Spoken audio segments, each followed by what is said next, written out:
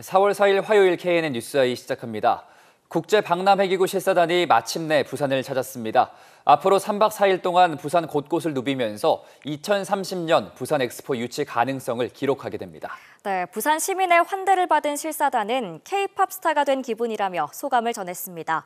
현장에 나가 있는 취재 기자 연결해 알아보겠습니다. 네, 조진욱 기자, 첫날 분위기 전해 주시죠.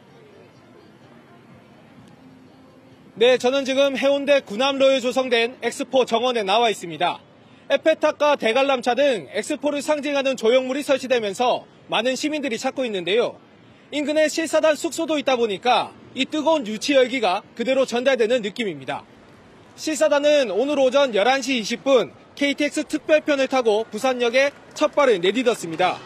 8명의 화동이 꽃다발을 전달했고 치타대와 사물놀이 등 전통 방식으로 이들을 반겼는데요. 특히 5천여 명의 부산 시민들이 엑스포 응원송에 망국기를 흔들며 환영하는 장관이 연출되기도 했습니다. 실사단도 연신 휴대폰으로 촬영하고 박수를 보내는 등 감사 표시를 했는데요.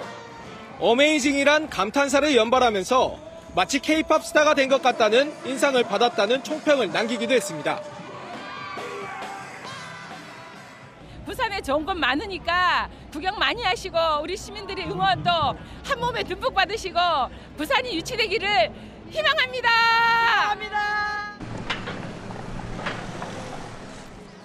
울숙도로 이동한 실사단은 부산에서의 첫 PT를 듣고 치료받은 새를 자연에 방생하기도 했습니다. 이후 해운대 숙소로 이동해서 환영 만찬을 즐겼는데요. 동네 학춤과 한국 무용 등 한국의 멋을 전하는 전통 공연이 펼쳐졌습니다. 만찬 요리는 철마 한우로 만든 육회와 동네 해물파전, 먹갈치 소금구이 등 부산의 특산품으로 만들어져 의미를 더했습니다.